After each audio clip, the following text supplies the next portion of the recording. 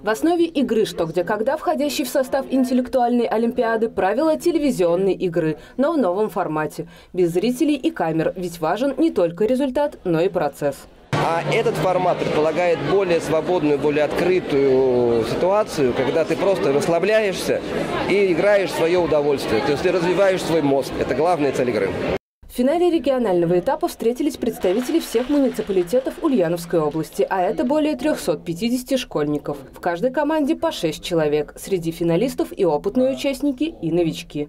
До этого я никогда не участвовала в таких мероприятиях. Ну и, конечно же, ну, есть надежда, что мы хотя бы какой-то положительный результат получим сегодня. Что, где, когда команды соревновались по два тура, каждый из которых состоял из 15 вопросов. После 30 вопросов три команды набрали равное количество очков.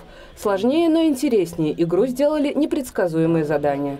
Мы не можем предусмотреть, из какой сферы возникнет э, та или иная тема, тот или иной вопрос. То есть э, вопросы, мы их я их не знаю, не видела. Это секрет, естественно, да, для того, чтобы никакой утечки не было. Поэтому это э, вопросы, которые едины на все регионы Приволжского федерального округа.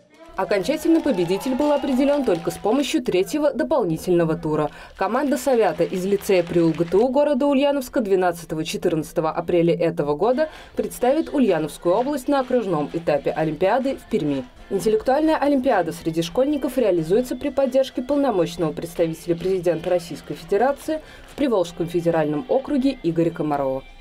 Юлия Руднева, Олег Тоньшин, Улправда ТВ.